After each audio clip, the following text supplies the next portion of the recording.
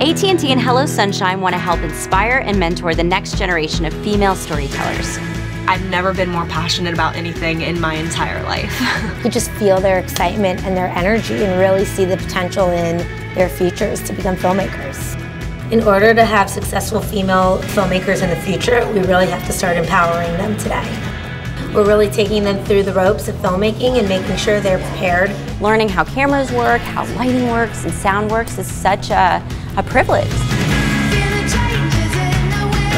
We're going to take them on a slew of locations to film powerhouse women across the industry. The goal of the program is to get these women empowered and confident about being filmmakers.